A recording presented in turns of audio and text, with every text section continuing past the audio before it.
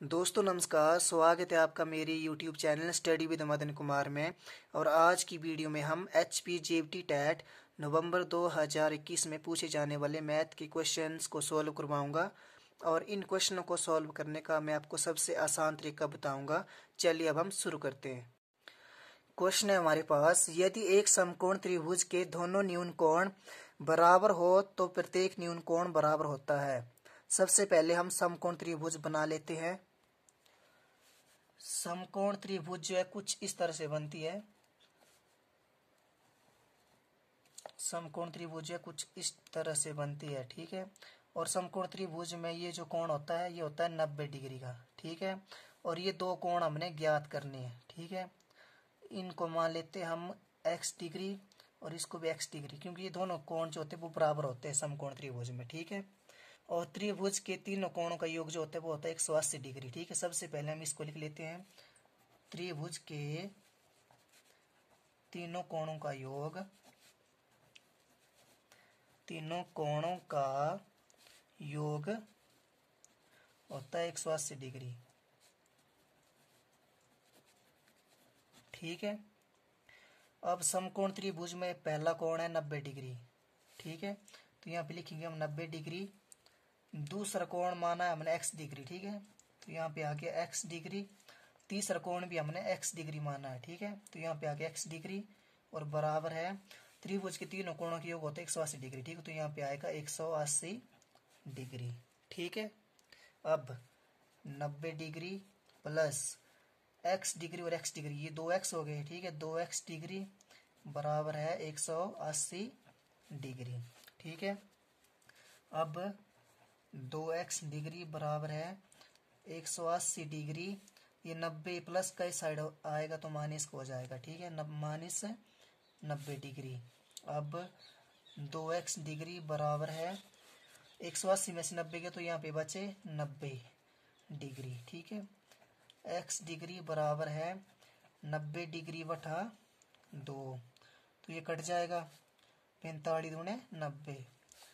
तो x degree का मान आ जाएगा हमारे पास पैंतालीस डिग्री, ठीक है? तो समकोण त्रिभुज की जो दो न्यून कोण है, ठीक है? इनका मान आएगा अब पैंतालीस पैंतालीस डिग्री। ये भी पैंतालीस डिग्री का आएगा और ये भी पैंतालीस डिग्री का आएगा, ठीक है? पैंतालीस पैंतालीस होते हैं नब्बे, ठीक है? नब्बे, ये नब्बे नब्बे होते हैं एक सौ अस्सी, ठीक है? तो त्रिभुज के तीनों कोणों का योग आ गया एक सौ अस्सी डिग्री। तो इस क्वेश्चन का राइट आंसर है ऑप्शन नंबर बी जो इसका बिल्कुल करेक्ट आंसर है। नेक्स्ट क्वेश्चन यदि पाँच क्रमागत संख्याओं ए बी सी डी तथा ई e की औसत 102 है तो बी तथा डी का गुणनफल ज्ञात कीजिए। क्वेश्चन में बताया है यदि पाँच क्रमगत संख्याएँ ए बी सी डी तथा ई e, सबसे पहले जो दिया है उसको हम लिख लेते हैं। ए बी सी और ई e, ठीक है? और इनको औस्त बताया है 102 ठीक है? तो औस्त होती है बीच वाली संख्या। तो हम दो संख्या यहाँ से छोड़ेंगे दो संख्या यहाँ से छोड़ेंगे ठीक है? तो बीच वाली संख्या बची हमारे पास सी ठीक है? तो सी के ऊपर हम जो 102 लिख देंगे ठीक है? तो क्वेश्चन में बताया पाँच क्रमागत संख्या क्रमागत संख्या होती है लगातार ठीक है? जैसे 102 के बाद अगली संख्या आएगी 103 उसके बाद अगली संख्या आएगी 104 ठीक है? और इससे पीछे आएगी एक सौ, एक और एक सौ। ठीक है? अब बताया कि तो बी तथा डी का गुणनफल ज्ञात कीजिए। यहाँ पे लिखेंगे इसलिए बी मल्टीप्लाई डी बी का मान है 101 लिख दिया। मल्टीप्लाई डी का मान है 103 यहाँ पे लिखेंगे हम 103 ठीक है? अब हम 101 और 103 को मल्टीप्लाई करेंगे तो यहाँ पे आएगा हमारे पास यहाँ पे कर देते हैं 101 और 103 को जब हम मल्टीप्लाई करेंगे तो आएगा हमारे पास तीन एकम तीन तीन ज़ीरो ज़ीरो, तीन एकम तीन। गुणा ज़ीरो का ज़ीरो ज़ीरो ज़ीरो। यहाँ पे आएगा एक का एक एक ज़ीरो ज़ीरो, एक का एक। ठीक है? तीन ज़ीरो चार ज़ीरो एक। ठीक है? तो इस क्वेश्चन का राइट आंसर आएगा दस हज़ार चार सौ तीन। कितना आएगा? दस हज़ार चार सौ तीन। तो ऑप्शन नंबर बी जो इसका बिल्कुल राइट आंसर है। दस हज़ार चार सौ तीन। इसका जो बिल्कुल राइट आंसर है। नेक्स्ट क्वेश्चन यदि क्षेत्र को सात अनुपात, पाँच अनुपात, तीन अनुपात, चार के अनुपात में बांटा जाए तो सबसे छोटा भाग होगा। क्वेश्चन में जो दिया है, सबसे पहले हम उसको लिख लेते हैं। तो क्वेश्चन में दिया है अनुपात, ठीक है? यहाँ पे लिखेंगे हम अनुपात अनुपात दिया है। सात अनुपात पाँच अनुपात तीन अनुपात चार। ठीक है? और इस अनुपात को हमने बांटना है छिहत्तर में ठीक है? तो यहाँ पे लिखेंगे हम छिहत्तर। ठीक है? अब आगे बोला है तो सबसे छोटा भाग होगा। तो, तो अब हमने देखना है कि अनुपात में सबसे छोटा क्या है। तो अनुपात में सबसे छोटा है तीन ठीक है? तो अब हम इस तीन को यहाँ मल्टीप्लाई करेंगे। और बटा अब इस अनुपात का हम जोड़ करेंगे, ठीक है? सत पंच बारह बारह और तीन, पंद्रह पंद्रह, चार, उन्नीस। ये जो उन्नीस आया, इस उन्नीस को अब हम डिवाइड करेंगे, ठीक है? उन्नीस एकम उन्नीस और उन्नीस चौके छिहत्तर। ये चार से पूरा पूरा कट जाएगा। अब बचा हमारे पास चार और तीन, ठीक है? इसका जब हम मल्टीप्लाई करेंगे तो चार तीन, बारह। तो इस क्वेश्चन का राइट आंसर आ जाएगा ट्वेल्व ठीक है? तो इस क्वेश्चन का राइट आंसर है option number A twelve next question दस की घात दो, ग्यारह की घात दो और बारह की घात दो का लघुत्तम समावर्त्य ज्ञात कीजिए। सबसे पहले हम दस, ग्यारह और बारह का एल्सियम लेंगे और एल्सियम लेने के बाद जो आएगा हमारे पास, ठीक है? उसका हम स्केयर करेंगे। तो वो हमारा फिर उत्तर आ जाएगा, ठीक है? तो हम एल एल्सियम लेते हैं सबसे पहले। दस, ग्यारह और बारह का, ठीक है? ये जाएगा पहले दो से, पाँच दूनी दस, ग्यारह नहीं जाएगा, ठीक है? छः दूनी बारह।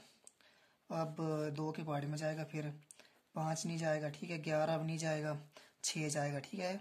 दो तिया छः अब दो के पहाड़ी में कोई नहीं जा रहा है, ठीक? है अब तीन की बारी है। तीन के पहाड़ी में पाँच नहीं जाएगा, ग्यारह अब नहीं जाएगा और तीन जाएगा। तीन एकम तीन। अब चार के पहाड़ में कोई नहीं जाएगा, उसके बाद पाँच की बारी है। ठीक है? तो पाँच एकम पाँच और पाँच के पहाड़ी में ग्यारह नहीं जाएगा, ठीक है? एक का एक आ गया, ठीक है? अब ग्यारह के पहाड़ी में जाएगा सीधे, ठीक है? ग्यारह एकम ग्यारह। अब हमारे पास एलसीएम आया है। दस, ग्यारह और बारह का। दो गुणा दो गुणा तीन गुणा पाँच गुणा ग्यारह। अब हम इसको गुणा करते हैं, ठीक है? दो दूनी चार चार तीन बारह बारह पंच साठ। साठ को ग्यारह से गुणा करेंगे तो आएगा हमारे पास ग्यारह ज़ीरो ज़ीरो, ग्यारह छः के छियाठ तो आया हमारे पास गुणा करके छः सौ साठ, ठीक है? तो अब हमने इसका स्केयर करना है, क्योंकि क्वेश्चन में जो है स्केयर बताया है, ठीक है? तो हम इसका स्केयर करेंगे मतलब छः सौ साठ को छः सौ साठ से गुणा करेंगे। तो आएगा हमारे पास, चलो हम गुणा करके देख लेते हैं। छः सौ साठ को छः सौ साठ के साथ गुणा करेंगे। ज़ीरो ज़ीरो ज़ीरो, गुणा छः ज़ीरो ज़ीरो छः छः छत्तीस छत्तीस और तीन उनतालीस, ठीक है? अब छः ज़ीरो ज़ीरो, ये आ जाएगा, ठीक है? ऊपर वाली संख्या।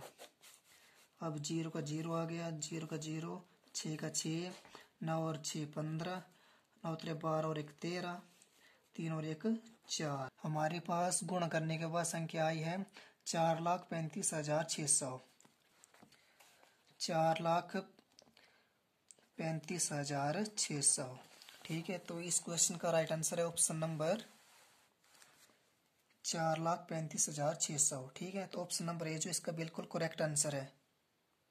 नेक्स्ट क्वेश्चन एक नगर की जनसंख्या में प्रतिवर्ष पाँच प्रतिशत की वृद्धि होती है। यदि वर्तमान जनसंख्या नौ हज़ार दो सौ इकसठ है तो तीन वर्ष पहले जनसंख्या क्या थी? इस क्वेश्चन को हम जो एक फॉर्मूले के माध्यम से सॉल्व करेंगे, सबसे पहले हम उस फॉर्मूले को लिख लेते हैं। फॉर्मूला हमारे पास वर्तमान जनसंख्या बराबर है एक्स ब्रैकेट एक प्लस आर वट हसाओ ब्रैकेट बंद और एन ठीक है? तो इस फॉर्मूले के माध्यम से हम जो इस क्वेश्चन को सॉल्व करेंगे तो क्वेश्चन में वर्तमान जनसंख्या दी है नौ हज़ार दो सौ इकसठ। नौ हज़ार दो सौ इकसठ, यहाँ लिख लेंगे, ठीक है? अब एक्स एक्स हमने जो ज्ञात करना है, ठीक है, तीन वर्ष पहले जनसंख्या क्या थी? वो हमने एक्स मानी है, ठीक है? तो यहाँ पे आ गया एक्स ब्रैकेट, एक प्लस आर का मतलब है रेट, ठीक है? तो क्वेश्चन में रेट दी है पाँच प्रतिशत तो यहाँ पे लिखेंगे हम पाँच बटा सौ ब्रैकेट बंद और एन एन का मतलब है कि कितने वर्ष पहले की हमने जनसंख्या ज्ञात करनी है? तो ये है तीन वर्ष, ठीक है? तो यहाँ पे आएगा एन का मान आएगा तीन। ठीक है? अब नौ हज़ार दो सौ इकसठ बराबर है एक्स ये ऐसे आ गया, ठीक है? अब पाँच कम पाँच और पाँच दूनी दस और ज़ीरो।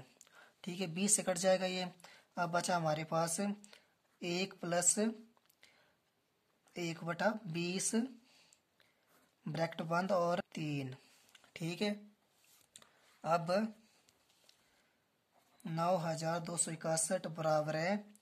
एक्स ब्रैकेट शुरू। बीस कम बीस और बीस में आप एक जोड़ेंगे, ठीक है? बीस और एक इक्कीस।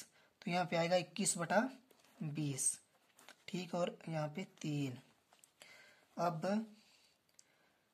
नौ हज़ार दो सौ इकसठ बराबर है एक्स ब्रैकेट। अब इक्की का क्यू करेंगे, ठीक है? तो इक्की को हम तीन बार लिख देंगे। इक्की गुणा इक्की गुणा इक्कीस, ठीक है? बटा अब बीस का भी क्यू करेंगे, ठीक? तो बीस को भी तीन बार लिख देंगे, बीस गुणा बीस गुणा बीस, ठीक है? जब इसको गुणा करेंगे तो गुणा करने के बाद हमारे पास जो है ये संख्या आएगी, ठीक है? और जब ये असंख्या आएगी तो ये आपस में कट जाएगी। नौ हज़ार दो सौ इकसठ बराबर है एक्स इसको गुणा करने के बाद आएगा हमारे पास नौ हज़ार दो सौ इकसठ। ये संख्या आएगी, ठीक है? आप गुणा करके देख सकते हैं। और नीचे गुणा करके आएगा हमारे पास आठ हज़ार, ठीक है? अब ये ये संख्या कट गई तो अब बचा हमारे पास एक्स बटा आठ हज़ार। तो अब हमारे पास एक्स का मान निकल के आ गया है आठ हज़ार। तीन वर्ष पहले जो जनसंख्या थी, वो थी आठ हज़ार, ठीक है? तो इस क्वेश्चन का right answer option number D जो इसका बिल्कुल करेक्ट आंसर है। नेक्स्ट उस गोले का आयतन जिसकी त्रिज्या दो डी बटा तीन है, होगा। गोले का आयतन होता है, सबसे पहले हम उसको लिख लेते हैं। गोले का आयतन। गोले का आयतन होता है चार बटा तीन गुणा पाई आर क्यू, ठीक है? तो गोले का आयतन जो हमने निकालना है, ठीक है? तो चार बट तीन, ये ऐसे आ गया गुणा। अब ऑप्शन में हमने देखना है कि ऑप्शन में जो पाई दिया है, ठीक है? तो हम जो पाई को ऐसे ही रहने देंगे। तो यहाँ पे आ गया पाई गुणा आर। आर का मतलब है त्रिज्या। तो क्वेश्चन में त्रिज्या दी है दो डी बटा तीन। ठीक है? तो यहाँ पे आर की क्यू मतलब त्रिज्या को हम तीन बार लिख देंगे, ठीक है? दो डी बटा तीन गुणा, दो डी बटा तीन गुणा, दो डी बटा तीन, ठीक है? अब चार दूनी आठ आठ दूनी सोलह सोलह दूनी बत्तीस तो यहाँ पे आ गया बत्तीस, ठीक है? अब तीन तिया नौ नौ तिया सताई सताई तिया इक्यासी, ठीक है? और अब पाई पाई आप लिख देंगे और डी एक दो ती, तीन डी है ठीक है? तो यहाँ पे डी की क्यू आ जाएगा। तो इस क्वेश्चन का राइट आंसर है ऑप्शन नंबर ए जो अभी इसका बिल्कुल करेक्ट आंसर है। नेक्स्ट संख्या आठ नौ पाँच ज़ीरो छ से बनी सबसे छोटी तथा सबसे बड़ी संख्या का अंतर ज्ञात कीजिए ठीक है? तो सबसे पहले हम संख्या को लिख लेते हैं। संख्या दी है हमारे पास आठ नौ, पाँच, ज़ीरो और छ, ठीक है? सबसे पहले हमने इस संख्या को अवरोही क्रम में लिखना है। अब रोही क्रम अवरोही क्रम का मतलब होता है घटते क्रम ठीक है? सबसे पहले बड़ी संख्या आएगी तो बड़ी संख्या पहले है नौ, उसके बाद इससे छोटी आएगी, इससे छोटी है आठ, अब इससे छोटी आएगी, इससे छोटी है हमारे पास छ अब छ से छोटी है पाँच और पाँच से छोटी है ज़ीरो। ठीक है? अब हमने इसी संख्या को आरोही क्रम में लिखना है। आरोही क्रम। आरोही क्रम का मतलब है बढ़ते क्रम में। ठीक है? पहले छोटी संख्या आएगी, छोटी संख्या आएगी ज़ीरो, उसके बाद बड़ी संख्या तो बड़ी संख्या आएगी पाँच पाँच से बड़ी आएगी छ छ से बड़ी आएगी आठ आठ से बड़ी आएगी नौ। ठीक है? अब हमने इसी संख्या का अंतर करना है, ठीक है? क्योंकि यहाँ बताया है संख्या आठ, नौ, पाँच, ज़ीरो छ से बनी सबसे छोटी और सबसे बड़ी संख्या का अंतर ठीक है? तो इस संख्या का अब हमने अंतर करना है। दस में से नौ के एक बचा, ठीक है? यहाँ बचे चौदह चौदह में से आठ के यहाँ बचे छ और यहाँ बचे पंद्रह पंद्रह में छः के तो यहाँ बचे नौ, ठीक है? यहाँ बचे सात। सात में से पाँच की तो यहाँ बचे दो और यहाँ नौ का नौ आएगा, ठीक है? तो इस क्वेश्चन का राइट आंसर है बानवे हज़ार नौ सौ इकसठ। तो ऑप्शन नंबर सी जो इसका बिल्कुल करेक्ट आंसर है। नेक्स्ट क्वेश्चन किसी घन का आयतन 125 सेंटीमीटर क्यू है? इसके एक फल का क्षेत्रफल ज्ञात कीजिए। तो घन का आयतन होता है, सबसे पहले हम उसको लिख लेते हैं। घन का आयतन। घन का आयतन होता है भुजा गुणा भुजा गुणा भुजा तो भुजा हम लिख सकते हैं ए क्यू ए का मतलब होता है भुजा ठीक है? तो ए क्यू का मतलब है भुजा गुणा भुजा गुणा भुजा ठीक है? तो घन का आयतन दिया 125 तो यहाँ पे आ गया 125 और ए क्यू तो 125 का ये यहाँ पे आएगा पाँच का क्यू ठीक है? पाँच को तीन बार गुणा करेंगे तो आएगा हमारे पास है 125 तो यहाँ पे एक क्यू क्यू से क्यू कट गया तो ए का मान आ गया हमारे पास पाँच सेंटीमीटर। ठीक है? अब आगे बताया है, इसके एक फल का क्षेत्रफल ज्ञात कीजिए। तो घन के एक फल का क्षेत्रफल होता है, इसलिए घन के एक फल का फल का क्षेत्रफल। तो ये होता है ए स्केयर मतलब भुजा गुणा भुजा। तो भुजा निकल के आई है हमारे पास पाँच। ठीक है तो यहाँ पे आएगा पाँच स्केयर तो दो बार लिख सकते हैं हम, ठीक है? पंचो पंचो, पच्चीस। पच्चीस सेंटीमीटर स्केयर ठीक है? तो इस क्वेश्चन का राइट आंसर है ऑप्शन नंबर सी जो इसका बिल्कुल करेक्ट आंसर है।